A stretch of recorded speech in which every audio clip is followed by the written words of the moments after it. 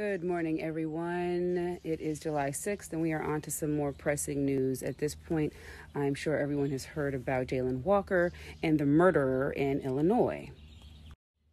Once again, one of us doesn't get to walk away. And given the circumstances,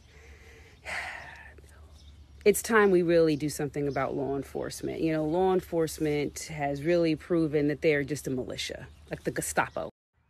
I mean, facts are facts. I mean, this is undeniable. Law enforcement is much like my plant at this point, okay? Let me show you something.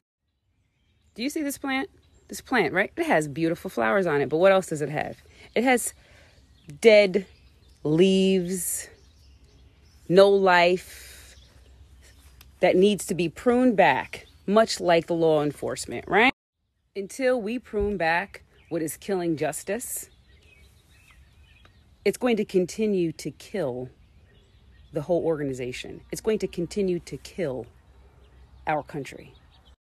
At this point, it's just sucking the life out of all of us. So it's time to prune that shit back.